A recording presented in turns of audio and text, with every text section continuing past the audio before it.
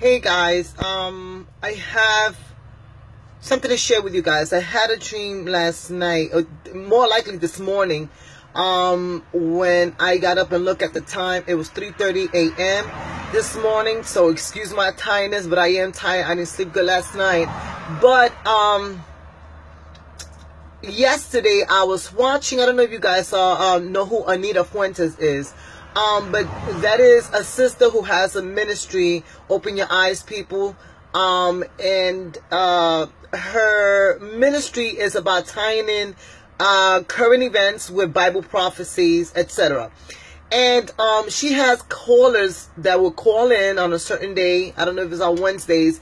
Anyway, they call in and they share the dreams that um, they believe the Lord has given them.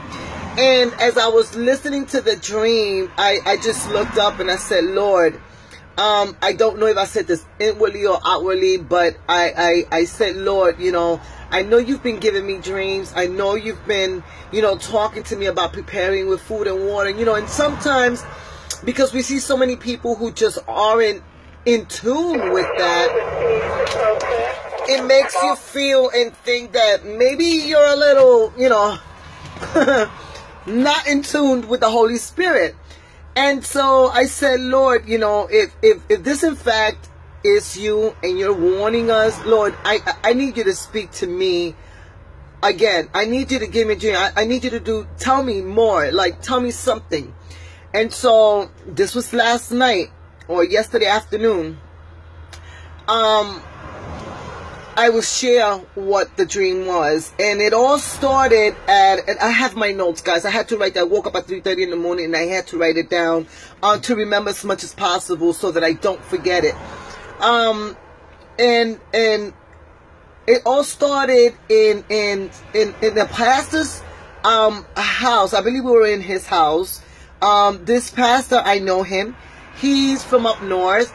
Um, someone who's very well uh, liked and respected. Um, and so anyway, we were in, I think, his house. His wife wasn't there. Her mother wasn't there. They were out shopping, and some other people from my family was out shopping. But we were kind of like in, in, in his house. I think it, it was like a party. It was a gathering, and um, I remember that there, there was it was myself the pastor and and, and another brother and um, we're kind of hurdled in a circle you know with our arms over each other and over the shoulders and i'm trying to get you guys to visualize. And um, so our heads are pretty much kind of like almost touching one to the other you know kind of like when you're in a team and you guys hover down and, and, and do the team thing. Um, the pep talk well we're doing that but what he's saying, and I can't remember his words, but it, it, it was not proper words. Um, it was almost flirtatious. That's how I felt. Like he was being flirtatious.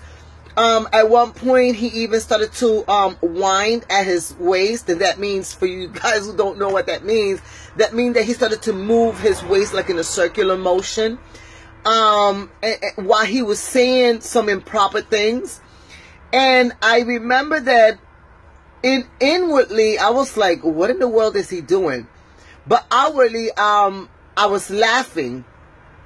And then I said inwardly to myself, let me see how far he's going to take this. And so um, that went on to um, a joke between the three of us. Um, and I'm gonna skip some of these little detail stuff, but I know um suddenly um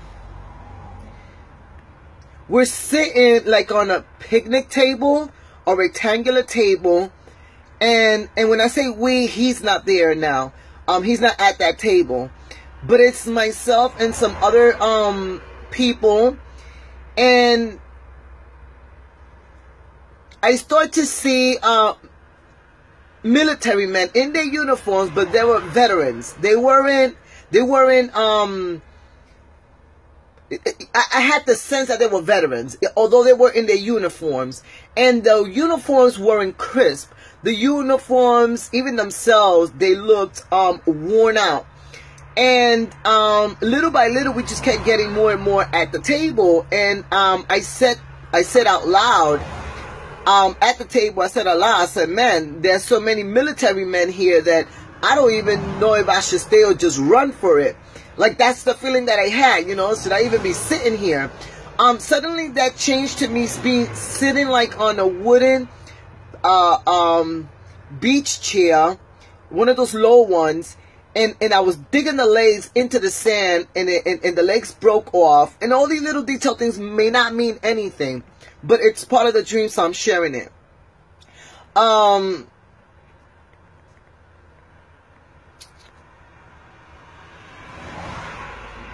I'm looking at my notes. I, I want to make sure I don't forget anything. So um, the legs broke off. And then um, in between scenes, I remember um, kind of being standing by uh, uh, a bar area, not a club bar area, like a home bar area. And and again, because it was like some kind of event.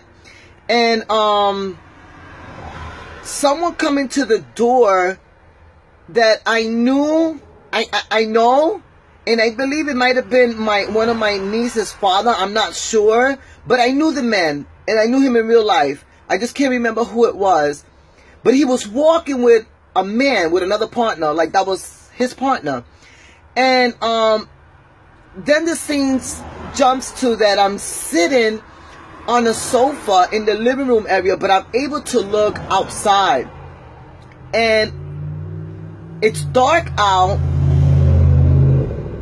Like I can see out, but it's dark out. And I see my brother, my oldest out of the two boys, um, coming in in one of those uh, um, golf carts. And he is just coming so fast, and I can see the terror in his face and his face was overshadowed with like like um you know darkness dark shadow. But at the same time like um the red um red lights like the emergency lights i can see it on his face. And he's just the, the, the look that he had in his face was of terror. And so he he he came running in hurry up hurry up we must go we must go. And instantly I just knew don't ask no question. Go grab your baby. And, and and the baby happens to be my granddaughter which somehow was my daughter. And I went and I grabbed her and I grabbed the bag that was already pre-made for her. And I was looking for my purse and I kept telling my sister my older sister you know where where's my purse? Because they were they had been playing. In the dream they, they they were playing a trick on me and they had hid my purse and I'm like, please, where's my purse? Where's my purse? Let's go. We gotta go. Don't ask no questions. Just grab the stuff and let's go. Go grab them. And so she grabbed her kid and we all ran outside. At this point, I no longer see the pastor. Um, the pastor's no longer in the picture. Um, his family is no longer in the picture. Um, but we all run, run outside with my brother and, and, and that was my, my husband, myself, uh, my kid, who happens to be my granddaughter, my sister, and her kid, one of her kids, and um, when we run outside, guys, I literally I looked around and shocked because what I saw when I looked to my left and I looked to my right, it was I saw nothing. I was in New York, and and and I knew it was like the New York buildings.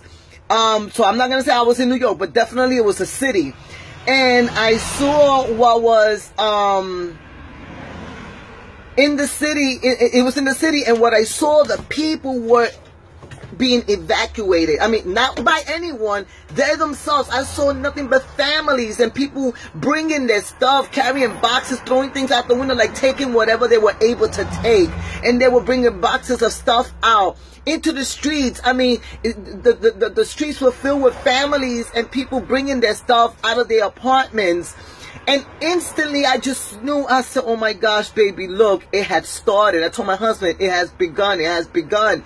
And I had the sense in my spirit right then and there, like in my dream, I had the sense that the government had took total control, like, uh, uh, uh, of every, um, real estate every building, every house, like they, they took control of it and were asking people that they had to evacuate. Like I knew this in the dream. So guys, I don't know what all this means. All I know is that I, I told the Lord, you know, Lord, if, if, this is all really of you, I, I, I need you to speak more to me.